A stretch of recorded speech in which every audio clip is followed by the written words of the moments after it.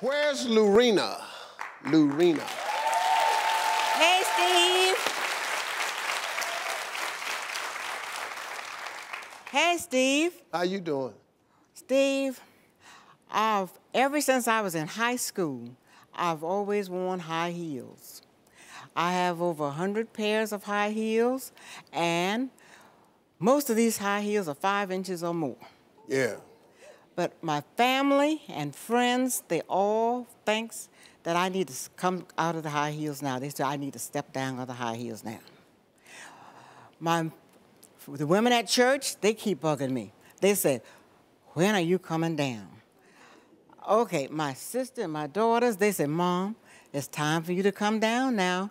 You're 80 years old now, so you.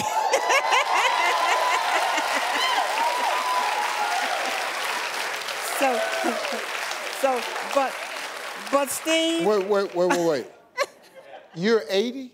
Almost 81. Almost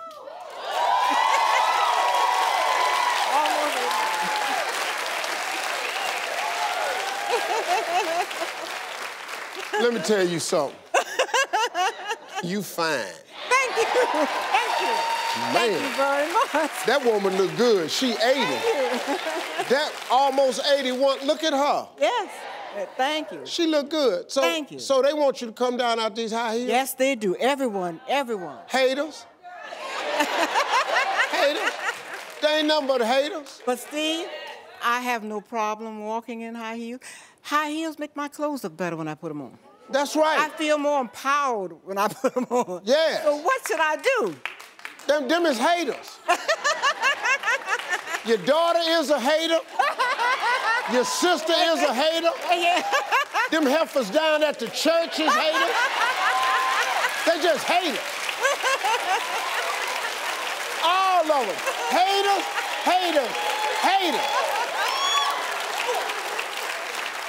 If you damn near 81 and can walk in high heel shoes, why not? Thank you, Steve. Thank you. Ladies, listen to me. As long as you banging, let it bang. As long as you can slang it, let it slang. now, when it come to the day where you got to let it go, then let it go. But if that day ain't here for you, get up on your toes. Flex it.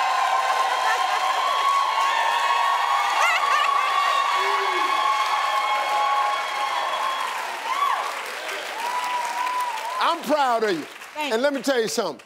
You're the best looking 81 year old I've seen in a long time.